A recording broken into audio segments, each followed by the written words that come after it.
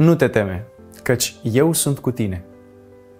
Și dacă ai frici, alege-le cu atenție. Ai de unde alege, fiindcă unele inventare ale fricilor ne arată peste 500 de fobii.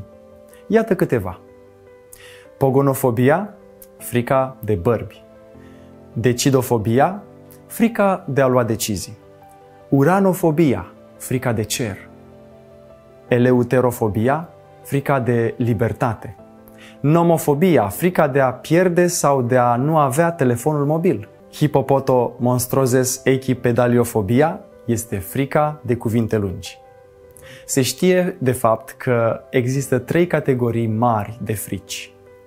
Fricile specifice, adică frica de obiecte, situații, elemente din jurul nostru. A doua categorie este agorafobia, fricile legate de părăsirea spațiului de confort. Fobiile sociale, frici care se bazează pe impresia că suntem judecați de ceilalți.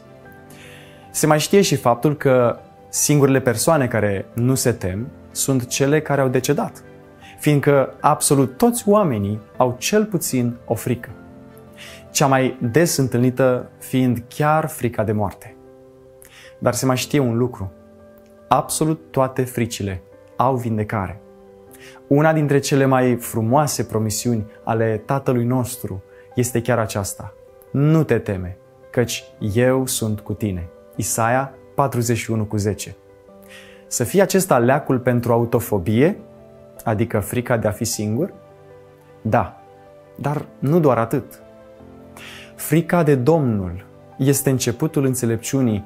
Toți cei ce o păzesc au o minte sănătoasă spune Psalmul 111 cu 10. Care este concluzia?